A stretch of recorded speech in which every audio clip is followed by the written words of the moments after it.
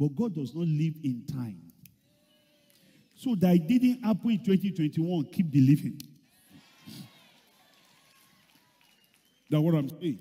That didn't happen in 2021. God does not live in 2021. Keep believing. We are not of them that draw back onto perdition.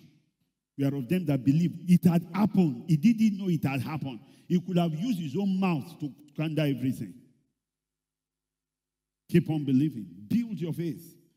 Oh, listen to me very carefully. Even if you're on minimum wage, just make sure you're not on minimum faith. because you might be on minimum wage, but when you're on maximum faith, it won't show.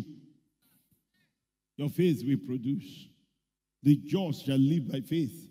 You are a believer, then you must be believing. Anybody that calls himself a believer and asks, What are you believing God for? And you can't tell me you have forfeited being a believer.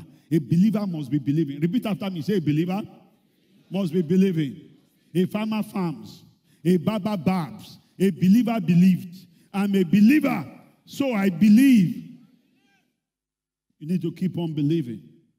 Oh my God. Archbishop Idahosa said, if you take a man away from a man his wealth, you will hinder him. But if you take away from him his faith, you will stop him. Faith is that powerful. I was a student in you. I went